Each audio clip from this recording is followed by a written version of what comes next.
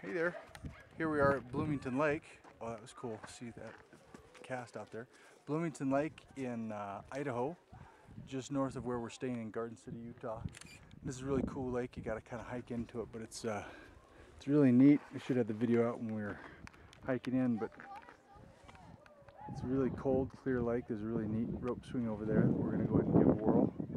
Uh, there's neat rocks to jump off. There's people fishing just on the other side of the tree there.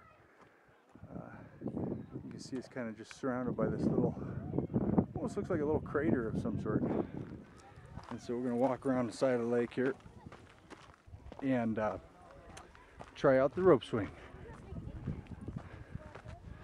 And here's Julie and the boys checking it out. What do you see? What do you see over there? Oh, people jumping off rocks over there? All right, so I like how the.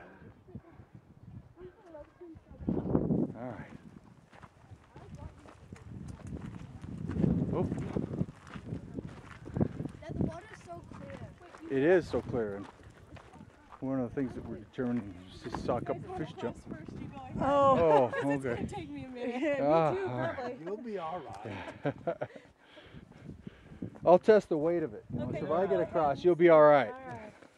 It seems to be holding out. All right, it's holding. This is a big log, isn't it? Yeah. All right. That was put there. Yeah, that. I'm sure it probably was. I don't think a beaver could hold that. All right. Heading back over in there, you can kind of see the people Dad, is there something that grabs the rope? fishing.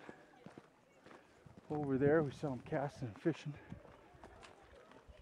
And uh, this is so clear again, I don't know if you'll be able to see.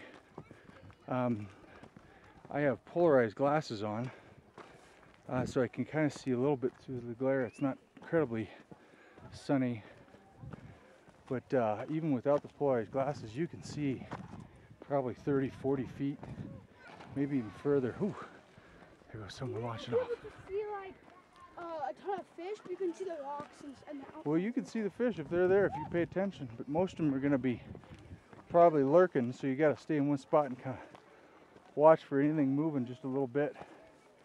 This is probably not going to be moving real fast. It'll probably be more like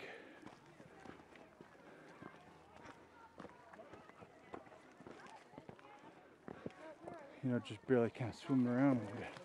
The dog, the dog been swimming. All right.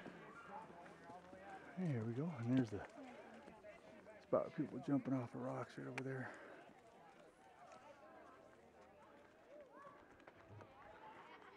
Have